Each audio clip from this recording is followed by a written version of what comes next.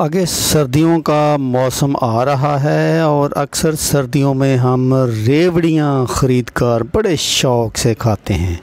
आज हम इस वीडियो में आपको दिखाएँगे कि ये रेवड़ियाँ कैसे तैयार की जाती हैं और ये आप मज़े मज़े से रेवड़ियाँ खाते हैं। इसकी तैयारी कैसे होती है? ये आपके सामने पहलवान एक राब गर्म कर रहा है और इसने लंगोटा पहन रखा है क्योंकि ये काफ़ी मेहनत और ताकत का काम होता है। ये देखें, इसने रेडियाँ तैयार करने के लिए ये राब सी बनाई है और इसको ये कड़ाहे में डाल के फैलाकर ठंडा कर रहा है और ये अब इसकी लई सी बनाएगा।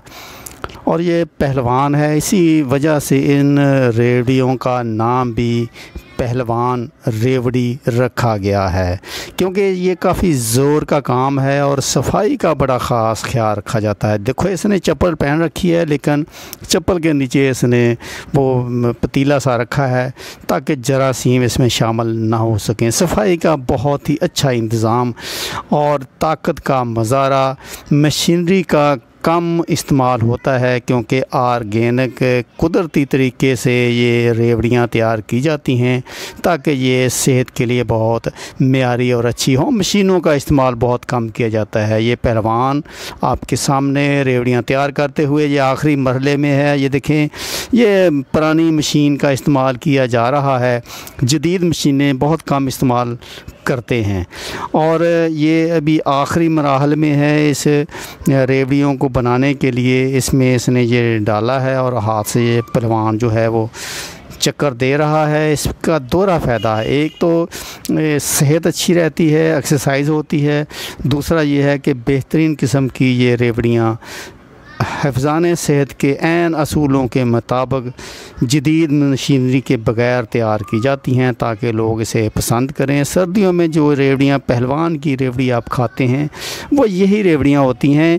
इनके जरासीम को मारने के लिए ये सख्त आग के ऊपर ज़्यादा टेम्परेचर पे इनको भुना जाता है ताकि तमाम जरासीम मर जाएँ और आपको कोई नुकसान ना पहुँचाएँ।